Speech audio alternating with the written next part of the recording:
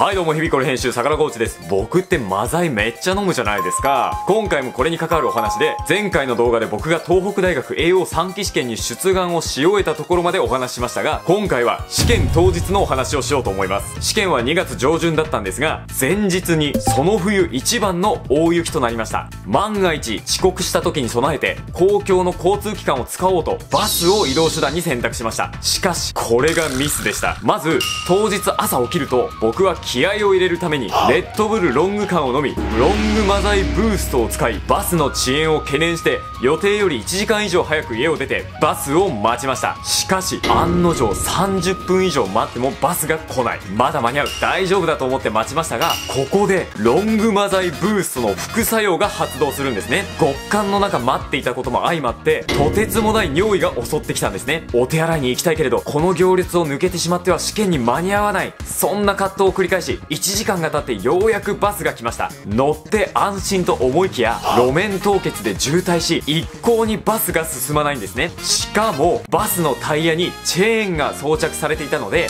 揺れで尿意が増大し続けましたその後なんとか耐えきり会場に到着したのは遅刻許容時間ギリギリの試験開始15分後その後お手洗いに行く許可を得てなんとか1つ目の英語の小論文の試験を乗り切ることはできたんですがその後の面面で僕はとある教授のもとで将来研究をしたい意思をアピールしたんですが僕が入学してすぐにその教授が退官した。